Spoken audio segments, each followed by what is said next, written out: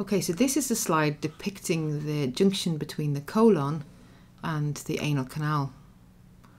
And so we'll just take a closer look at the epithelium in both of these.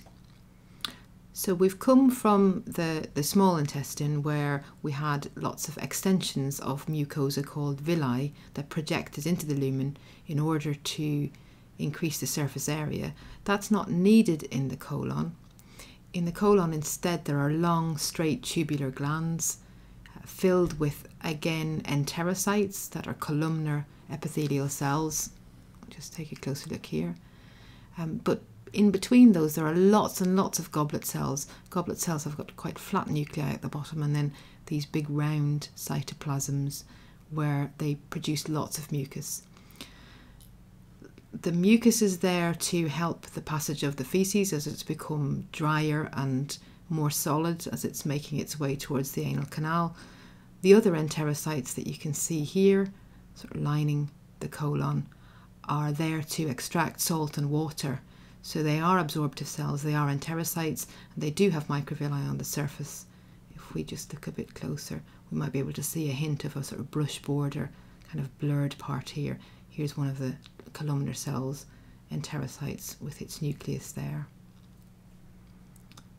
Okay, so that's quite different to the anal canal, which doesn't have these long crypt-like glands.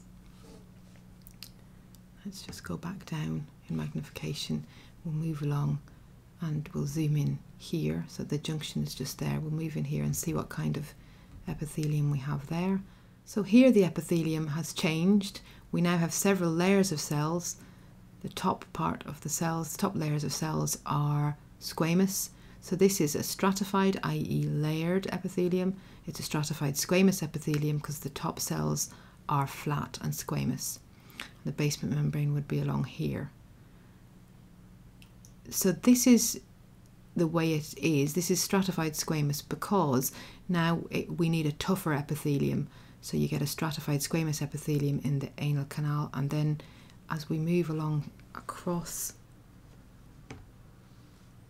it becomes keratinized. Here you can see a stratified epithelium, stratified squamous, but with keratin at the top. So that's now the epithelium of the skin on the outside of the body. So there's a junction here where it becomes keratinized uh, from just a, a normal stratified squamous to stratified squamous keratinizing here. And that's marking the distinction between the skin on the outside and the mucosa of the GI tract on the inside.